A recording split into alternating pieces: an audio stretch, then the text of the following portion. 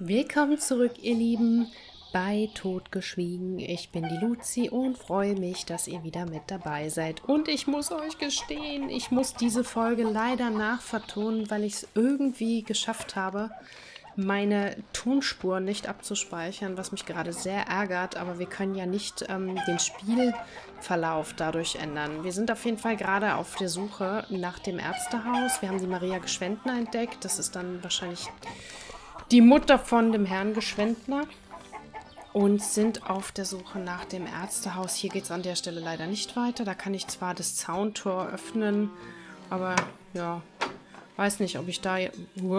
Okay, hier jetzt auf dem richtigen Weg bin. Eher würde ich jetzt den Arzt nicht auf dem Feld vermuten. Ach, das tut mir so leid mit der Tonspur. Oh. Naja, aber hoffentlich kommen wir gegebenenfalls weiter. Was haben wir? Hier haben wir nichts. Wir gucken mal. Nein, hier gibt es nichts für mich zu holen. Und äh, dann... Oh, da ist jemand. Was machen wir da? Okay. So, Gedanken verloren läufst du auf der Straße beinahe in einen jungen Mann hinein. Als du dich entschuldigen möchtest, erkennst du ihn als die Wache, die dich am Vorabend an der Brücke abgewiesen hat. Okay. Ja, Hier- da schau her. Wen haben wir da? Wer hat denn die ins Dorf gelassen? Hast jetzt du die ins Dorf geschlichen? Das gibt's ja nicht. Meinst du, lass mich verarschen? Geh her, gleich schäbert's. Uiuiui, da geht's aber jetzt rund. Jetzt passiert was? Nee. Ah doch, der greift mich an. Uiuiui. Hey, hallo. Oh. Ah, hier musste echt auf alles gefasst sein. Die Schmacksplatz. So, gib's ihm. Auf die zwölf. Komm, nochmal. Noch ein bisschen. Auf. Los, wunderbar. Ah, jetzt beruhig dich mal wieder. So war das jetzt auch nicht gemeint. Ach ja, jetzt auf einmal war es nicht so gemeint. Wunderbar. So, komischerweise behalten wir jetzt aber das rote Auge. Wir sammeln mal noch Steine ein und suchen immer noch das Haus des Arztes. Ich bin gespannt. So, finden wir das? Nein? Nee, Feuer brauchen wir jetzt kein, ist ja nicht so kalt. Gefrühstückt haben wir auch. Hm. Aber eigentlich, wenn wir auf dem Weg zum Arzt sind, wir sollen ja genau da lang am besten. Da steht noch einer rum. Da, da, da, da, oben war der Leubel nochmal, aber den brauchen wir jetzt auch mit. Hier, schicken Achselshirt. So, da ist der Bürgermeister. Arzthaus. Super, endlich. Okay. Das wird die Haustür des Arztes sein. Klopfen. Im Haus bleibt alles still. Chance 60% für Umsehen. Schaffen wir das? Ah. Uah. Okay, noch eine. Einmal. Sehr gut. Hinter der Fensterscheibe gleich neben der Haustür liegt ein Zettel, auf dem fast unleserlich geschrieben steht: Auf Apothekenbesuch in der Stadt. Bin in ein paar Tagen zurück. Leider ohne Hinweis auf das Abreisedatum des Arztes. Hm. Das heißt, da kommen wir jetzt an der Stelle erstmal nicht weiter und müssen das Haus leider wieder unverrichteter Dinge verlassen. Ja, Arzt Schweighöfer, was haben wir hier? Ich brauche noch einen Hinweis. Ich sollte den Tatort untersuchen. Da sind wir irgendwie noch nicht so ganz fertig, ne? Ich muss den Täter finden. Alles nicht so, wie wir es gerne hätten. So, das heißt, wir gehen am besten... Ja, wo gehen wir jetzt hin? Ich weiß gar nicht mehr. Ich glaube, wir gehen nochmal zum Tatort, weil das ist ja immer noch ausgegraut, ne? Und eigentlich müssen wir, ähm, muss das ja abgeschlossen sein. Aber das funktioniert noch nicht so. Was? Nee, nee, nee. Hier ist doch nicht. Falsche Richtung. So. Jetzt gucken wir nochmal. Wir laufen zum Tatort und gucken, ob wir da nochmal was finden. Oder wir gehen direkt nochmal gerade hier. Wir haben, glaube ich, auch noch was mit dem Schorsch zu klären. Oder habe ich mich jetzt gerade verlaufen? Ich glaube, ich habe mich gerade verlaufen. Oh mein Gott. Das ist natürlich jetzt hier umständlich. Im Spiel verlaufen und das Dorf ist schon nicht groß. Das ist echt, ey. Boah. Reise ich? Nein, ich reise nicht. Ah, da, eine holde Maid mit rotem Haar. Die Frau Oberlechner. Mhm. Die kleine Frau hat einen freundlichen Blick und ein leichtes Grinsen im Gesicht. Grüß Gott! Na, so ein adretter junger Mann. Da schauen's her. Sie sind Frau Oberlechner, richtig? Die Haushaltshilfe von Pfarrer Bayerle. Ja, ja, so ist's. Gar seltener Besuch. Das ist mir ja erfreut. Die Freude ist meinerseits, darf ich mich vorstellen, Valentin Schmidt, Physikatsberichterstatter. Ich bin aus der Stadt geschickt worden. Ja, da schau her. Ich hoffe, ich störe nicht. Ich wollte Sie fragen, ob Sie mir bei etwas behilflich sein könnten. Freilich. Was brauchen's denn? Kann ich Ihnen vielleicht zuerst einen Kaffee anbieten, Herr Valentin? Das ist wirklich freundlich. Herzlichen Dank, Frau Oberlechner. Mei, nennen Sie mich doch bitte Renate, Herr Valentin. Sonst komme ich mir gar so alt vor. Gerne, Renate. Ja, bitte, Herr Valentin? Hm, wir gehen mal. So. Und da kommen wir nicht weiter irgendwie. Schauen wir mal auf die Karte, genau. So, wir müssen zu der, zum Tatort und zu der Frau am Fenster. Dass wir da irgendwie nochmal weiterkommen. Wir müssen auf jeden Fall nochmal den Arzt, den, ach, den Arzt, den Tatort in Augenschein nehmen. Und dann mal gucken. Wir sind ja jetzt da vorne. Genau. Und da komme ich ja nicht weiter. Da ist wahrscheinlich blockiert. Ne? Ja, genau, da standen ja abends die Wachen. Deswegen komme ich da nicht äh, vorbei. Ähm, da ist die Kirche. Das heißt, wir müssen jetzt eigentlich noch mal einmal quer durchs Dorf, um zum Tatort zurückzukommen.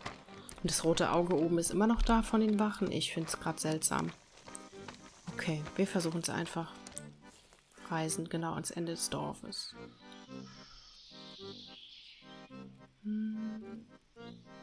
Nicht zum Schaumeier. Kirche sind wir doch, dachte ich. Osten. Irgendwie habe ich mich verzettelt. Fürchte ich. Hm. Da war ich ja. Oder auch nicht. Jetzt wird schon wieder langsam dunkel. Das ist auch jetzt wieder schlecht. Hm, lauf, Johnny, lauf. Auf geht's. Komm. Wir müssen zum Tatort. Wir haben irgendwas übersehen. Irgendwas passt noch nicht. Und die Frau am Fenster haben wir noch. Da hatten wir bisher auch noch kein Glück. Das müssen wir unbedingt nochmal versuchen. Das wäre schon wichtig, dass wir das hinkriegen. Naja, wir laufen jetzt erstmal hin. Wir sind ja jetzt wieder orientiert. Das Navi ist wieder funktioniert nach einem Neustart. Und dann gucken wir mal, ob wir nicht doch da am Tatort irgendwie weiterkommen. Gut, da hätten wir jetzt eben hinreisen können. Haben wir irgendwie verpeilt. So. Dann schauen wir mal, ob wir doch noch was sehen. Aber es bleibt alles schwarz-weiß. Gar nichts. Nichts. Tatort Blut. Aber das hatten wir ja eigentlich. Was ist da durcheinander geraten? Es bleibt alles schwarz-weiß, gar nichts. Das ist auch schwarz-weiß. Sieht zwar im ersten Moment so aus, als wäre da was, aber es ist eigentlich nicht. Keine Chance. Da ist nichts. Finden wir nicht. Auch nicht, wenn wir die Perspektive wechseln. Irgendwas passt nicht. Wir haben irgendwas übersehen, die Quest noch nicht richtig gemacht. Wir müssen da nochmal weitersuchen. Das sieht nach Blut aus. Hier muss jemand verletzt worden sein. Genau. Das hatten wir ja schon. Weitergehen. Da passiert auch nichts mehr jetzt. Wie oft will ich es eigentlich noch anklicken? Keine Ahnung. Da ist diese kleine Gedenkstätte.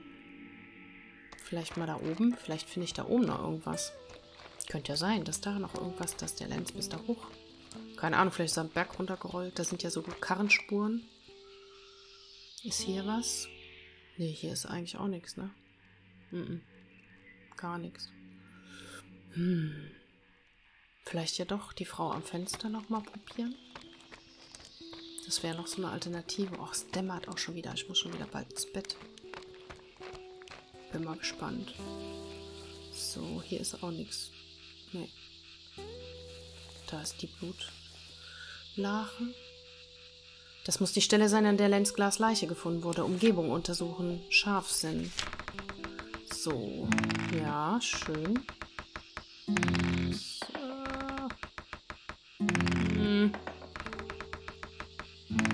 Okay. Du stehst westlich vom Wirtshaus. Hier endet das Dorf. Die Straße führt von hier aus Richtung Schaumeierhof. Du siehst, wo sie im Wald verschwindet. Da muss der Weg sein, den Lenz nach seinem Besuch im Wirtshaus genommen hat. Du kannst von hier aus die Fenster des kleinen Hauses sehen. Dann müsste es auch möglich sein, von dort den Tatort zu beobachten. Vielleicht haben die Bewohner ja was gesehen. War da was? Hm. Okay. Misserfolg, schade. Und den Boden genauer untersuchen? Der Boden ist hier feucht und rutschig vom letzten Unwetter. Es haben sich mehrere Pfützen gebildet. Oh, der Boden ist wirklich sehr rutschig. Hm. Auf dem unebenen Boden und dem rutschigen Gras verlierst du den Halt. Du wedelst noch mit den Armen durch die Luft und schon siehst du deine Füße nach vorne fliegen und schlägst mit dem Kopf auf den Boden auf. Du atmest ein paar Mal tief durch, bevor du dich wieder aufraffen kannst. Könnte Lenz auch gestürzt sein und sich dabei verletzt haben? Vielleicht könntest du die Leiche in Augenschein sehen. Ja gut, diesen Dialog hatten wir auch schon. Mal sehen. Hm. Hm. So, angetrieben von einem Geistesblitz legst du deine Hand in die Pfütze, die sich hier gesammelt hat. Auch das haben wir schon gemacht. Weil sie jetzt tief genug ist, dass er darin ertrinken kann. Genau. Lag der tote Lenz mit dem Gesicht auf dem Boden, könnte das alles ein Unfall gewesen sein. Aber auch das bringt uns an dieser Stelle leider nicht weiter. Hm. So, hier haben wir jetzt nur noch mal die Möglichkeit, hier zu gucken. Das Gartentor zu öffnen, ohne mit der Dame gesprochen zu haben, ist unklug. So, da passiert aber auch nichts. Auch nichts, wenn wir die Perspektive wechseln. Nach wie vor das Fenster. Wir müssen das irgendwie hinkriegen mit der Dame. Irgendwie klappt das sonst vorher nicht, fürchte ich. Das, ähm, hier passiert gar nichts sonst. Hm, wir versuchen es nochmal. Mit der Euden am Fenster. So, hat sich hinter dem Vorhang etwas bewegt. Ein Gespräch mit der älteren Dame die! So, bin ich denn wirklich fremd? Versuchen wir es nochmal. Oh, geht ja schon gut los. Okay. So. Ja! Da haben's recht. Kommen's mal rum ums Haus, dann erzähle ich Ihnen was. Mhm. Nicht hier so am Fenster, das sehen ja alle.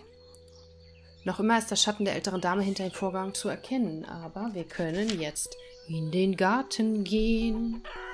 Sehr gut. Haben wir das auch geschafft. Okay. Gartentor, da sind wir doch. Jetzt bin ich gerade ein bisschen kompliziert gelaufen. Das Tor führt in einen Garten. Das Tor öffnen. Das Tor lässt sich jetzt öffnen. Weiter.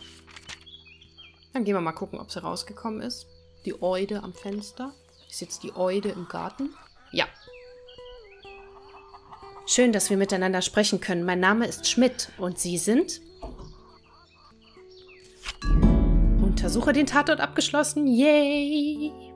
Im Ort nennen sie mich immer die Fenstlerin, weil ich eh den ganzen Tag am Fenster hock. Die Eude heißt mit bürgerlichem Namen Henriette Maurer. Da sieht man fei schon allerhand. Das können sie mir glauben. Die Leute sagen hinter meinem Rücken immer, ich hätte ja so viel Zeit. Deswegen würde ich den ganzen Tag am Fenster sitzen. Dabei ist grad das der größte Schmarrn. Wenn ich von irgendwas gar nicht mehr viel hab, dann ist das Zeit. Das ist kein schönes Gefühl. Sage ich einer, wenn man weiß, dass man jetzt stirbt. Also, äh, jeder stirbt, das ist ganz klar. Aber nicht jeder weiß, dass seine Tage gezählt sind. Aber ich hab überhaupt erst alt werden dürfen. Ob das ein Fluch oder ein Segen ist, weiß ich nicht. Brauche ich auch nicht wissen. Das liegt in der Hand Gottes, sagt der Herr Pfarrer allweil. Der ist schon ein guter Mo. Ja, mei, das mit seiner Haushälterin, der Frau Oberlechner. A jeder hat ein Laster. Mir ist das egal. Das muss er mit dem Herrgott diskutieren. Die werden sich schon einig werden. Das ist ein guter Mo. Sogar zu dem Linz, dem Toten, war er immer freundlich, obwohl der sich oftmals gar nicht beliebt gemacht hat. Hm, hat der Pfarrer eine Beziehung mit seiner Haushaltshilfe? Die Eude am Fenster hat da was erwähnt. So, neue Aufgabe. Können wir uns über den Lenz unterhalten? Den hat nicht jeder gemacht. Da am Schormeierhof geht's manchmal auch drunter und drüber.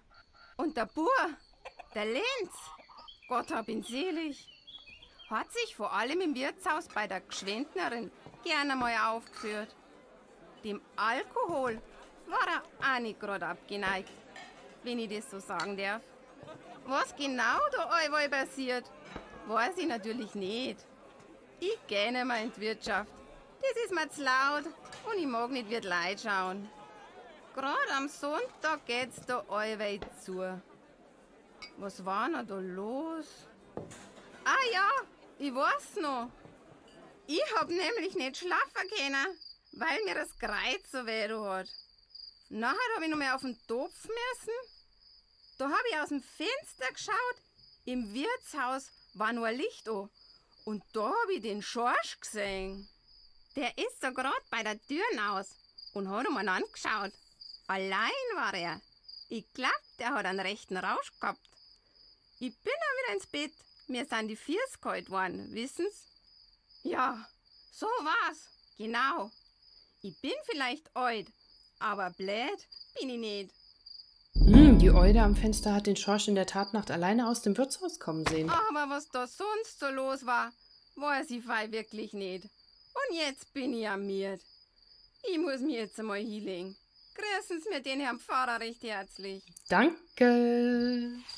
Schorsch wurde gesehen, als er in der Nähe vom Tatort herumgelungert hat. So. Dann gucken wir mal. Langsam müssen wir uns, glaube ich, ins Wirtshaus machen, sonst kriegen wir wieder Ärger mit den Wachen. Da müssen wir uns jetzt ein bisschen beeilen. Wenn wir aber Glück haben, äh, ist der Schorsch noch da, den wir fragen können. So, hier ging es ja nicht, sind wir nicht weitergekommen, aber wir haben jetzt wenigstens die eine Aufgabe abgeschlossen. Das ist schon mal viel wert.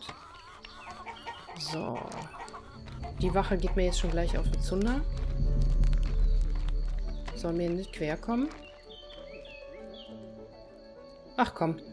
Ich denke, wir sollten mal drauf hauen. Komm, gib's ihm. Los. Da haben wir die schon mal weniger, die mir nachts irgendwie in die Quere kommen. Hoffe ich. Also, ich hoffe, dass sie nicht so schnell die spawnen und gib's ihm. Los, auf. Gleich hast es. Komm. Los. Jawoll. Auf. Geht doch. Okay, das hat schon mal geklappt. Aber komm, jetzt guckst du, dass du ins Gasthaus kommst. Sonst kriegst du nur noch mehr Probleme. Ja, siehst du, das meinte ich nämlich. Da kommen jetzt noch ein paar mehr. Am besten beeilst du dich ein bisschen, Valentin. So. Jetzt sind wir doch schon gleich da. Aber es ist natürlich niemand mehr jetzt hier. So. War da noch was? Sehe ich hier irgendwas noch? Jetzt sind nämlich gerade mal keine Wachen da. Dann kann ich da mal kurz gucken. Hallo? Nein. Irgendwie nicht. Hm. Gute Frage.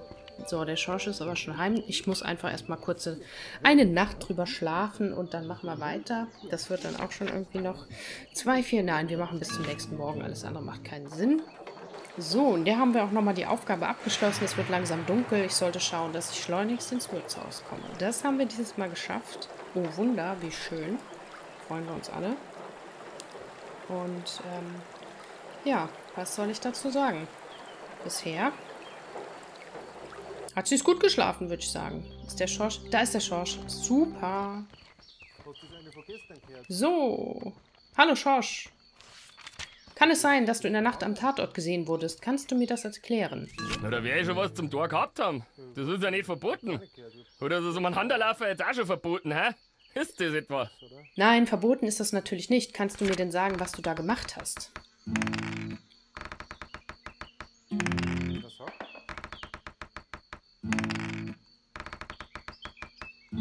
Hm. Äh, ja, freilich kann ich das, aber warum soll ich die? Ich wüsste jetzt nicht, was dir das überhaupt so geht. Hier stimmt etwas nicht. Er ist verunsichert und nervös und versucht etwas zu vertuschen. Ich brauche mehr Beweise, um ihn zum Reden zu bringen. Schorsch wurde nervös, als ich ihn befragt habe. Könnte er der Täter sein? Jetzt kannst du die Fragerei aber sein lassen und dich aufs Wesentliche konzentrieren. Oder du schaust besser, dass du Land gewinnst, aber ganz schnell. Ja, das Bier, das kannst du aber auch stehen lassen. Ich will ehrlich sein, es sieht nicht gut aus für dich. Einiges deutet darauf hin, dass du etwas mit dem Tod des Mannes zu tun hattest. Was? Äh, wo? Du wurdest in der Nacht am Tatort gesehen. jetzt? Kannst du das erklären? Äh, weiß jetzt auch nicht. Das hat doch nichts zum heißen. Und deine Jacke kannst du mir auch nicht zeigen. Dabei vermute ich, dem Täter fehlt ein Knopf an der Jacke. Da zähle ich eins und eins zusammen. So, mein lieber Schorsch, ich schlage vor, du erzählst mir sofort, was in dieser Nacht passiert ist, sonst ist hier gleich einiges los, das verspreche ich dir. Oder was kommst du denn jetzt so ins Schwitzen, Schorsch? Ich sehe doch, dass hier etwas nicht stimmt. Na gut, lass uns über etwas anderes sprechen. Ich glaube, wir nehmen Variante 1. So, mal sehen. Schwierigkeit 5 könnte zu schaffen sein.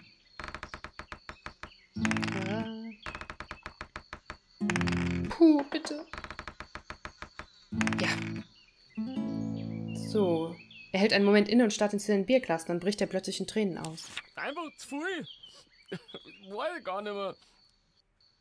Erinnert mich nicht und, und, und was, wenn ich.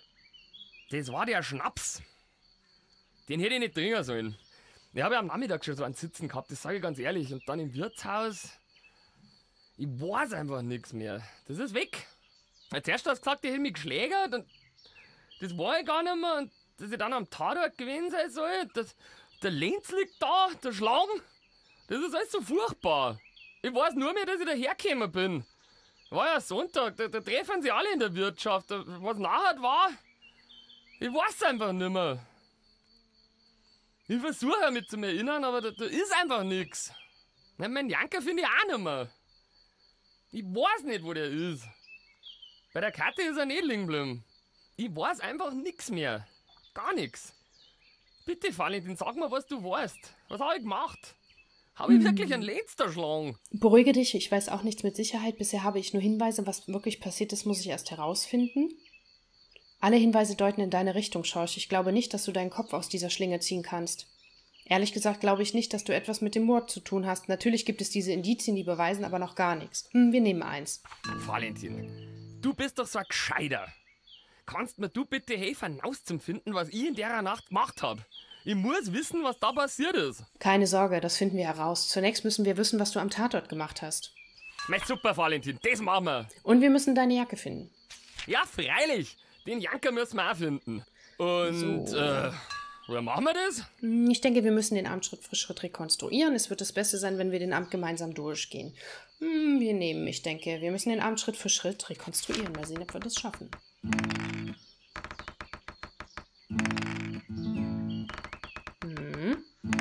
Ja. Yes! Das heißt jetzt was genau? Wir versuchen alles so zu machen, wie es an jenem Amt gemacht hast. Von Anfang bis Ende. Das heißt, wir müssen irgendwie auf den gleichen Pegel kommen. Kati, bring uns noch eins. Ach, besser gleich zwei Bier für jeden. So, dann finden wir mal heraus, was du an dem Amt getan hast. Hoch die Gläser. Valentin, das ist alles für einen guten Zweck. Sauf einer in den bläden Schädel an schon. Dann hat er zu ihm gesagt, du schaust nicht so blöd. Verstehst? Schaust so blöd, weil er ihm doch das eine Auge mit der Mistgabe. Verstehst? mhm. Ein Prosit auf unseren König Ludwig II. Lang lebe der Kini. Prost, Valentin. Ja. Ihn gekriegt, gegen die Sabreisen eine Kugel abgekriegt. Bloß ein Streifstoß, halb so wild. Mit einer verfluchten Zundennadel gewährt die Angel hat dreimal zurückgeschossen, wo wir mir noch am Nachlang gewinnen haben. Verreckte Sabreißen, ich sag's dir. So schnell! Das ist eine Geschwindigkeit, Valentin. Das ist doch keiner gewohnt. Ich sag dir, das ist alles unnatürlich. Ob der Herrgott das will, dass Menschen mit so einer Eisenbahn fahren? Ich glaub's ja nicht. Mhm. Das ist schon was anderes, so ein Krieg. Das wünscht man auch seinem ärgsten Feind nicht. Das, das ist nichts Menschliches, ne? Da muss man das Menschsein ablegen. Und das sage ich dir, Valentin. Das sage ich Das Menschsein, das, das kriegst du nicht mehr zurück. Hm. Jetzt weiß ich. Ich hab gewissen was zum Trinken mitgenommen in der Nacht. Die Flaschen müssen umeinander liegen irgendwo. Die müssen wir finden. Ha! Hm. Okay, Aufgabe abgeschlossen. Ich sollte mit Schorsch vorla vorlaufen lassen. Neue Aufgabe. Schorsch war wohl noch unterwegs. Eine Spur aus leeren Flaschen hat er dabei hinterlassen. So, wenn ich der Spur folge, kann ich vielleicht herausfinden, was er getan hat. Mhm. Okay. Wir haben jetzt wieder den traumhaft schönen Ladebildschirm und hoffen, dass es gleich weitergeht. Aber es ist wieder Abend. Das ist jetzt blöd. Von daher, ihr Lieben, ich glaube, unsere Zeit ist soweit um und wir machen da einfach in der nächsten Folge weiter.